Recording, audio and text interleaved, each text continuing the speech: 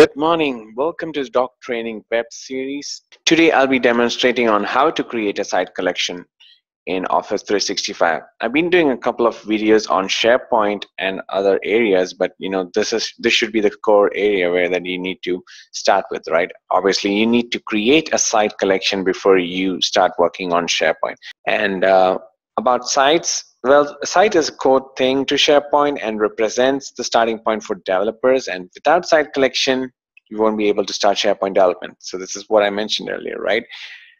Also, a Microsoft SharePoint Online Site Collection is a top-level site that contains the subsites.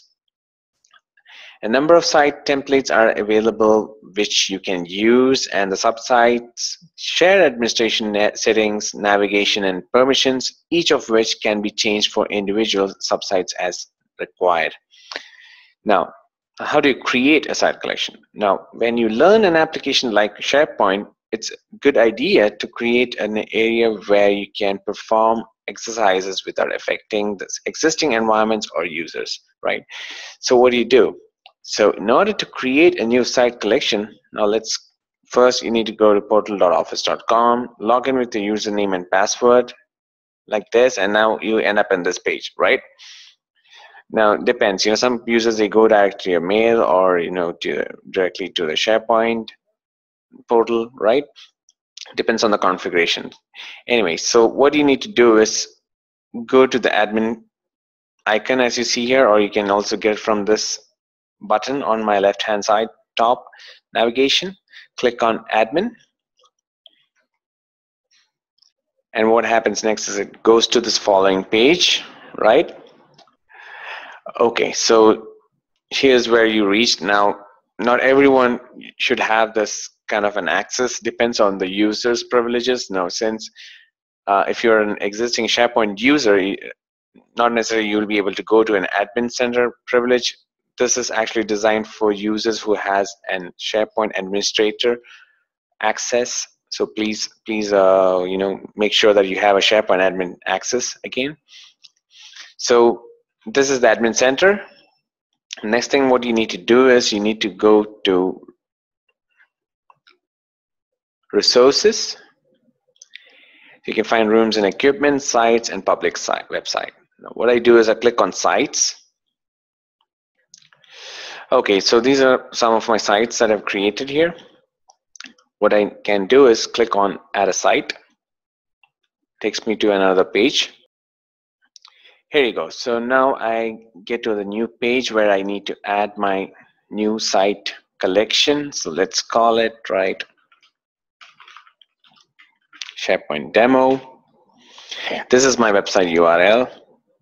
It's gonna call it sites slash SharePoint demo. Let's call it that way. The language is English and what's the, what's the template that I require, right? Now this site will be used as a team site or is this for blogging purposes or it's purely for development or just a project site or a community site. If I move to enterprise tab, I have a document center, e-discovery center, record center. So I have a bunch of options to select publishing portal and enterprise wiki also I can you know probably create custom templates and I can put over here so if you're not sure I think it's it's always better to go with the first option that's the team site select your time zones and also don't forget to mention your administrator user or access set for this site collection, right? And then you hit OK. So now let's look for our, yeah, here you go. So this, this is the one we just created now. So you can see that site collection is added to your admin center URL list, right?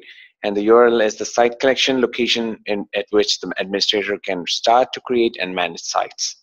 It's just filling down. It's going to take some time, right? So we'll wait for it. All right. So now as you see here, I've created this. So I'm just going to click on this link and I get a detailed information regarding the site collection.